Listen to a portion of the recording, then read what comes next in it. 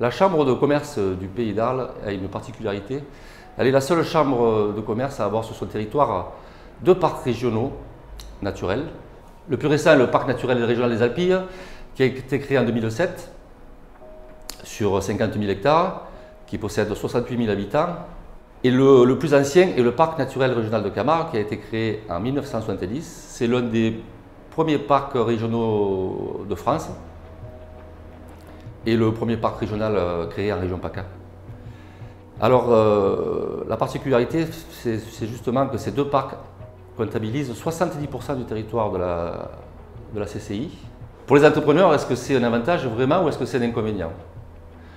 Euh, Je pense que si on veut vraiment travailler dans, le respect de l'environnement, ça, devient difficile pour, certaines entreprises de s'implanter.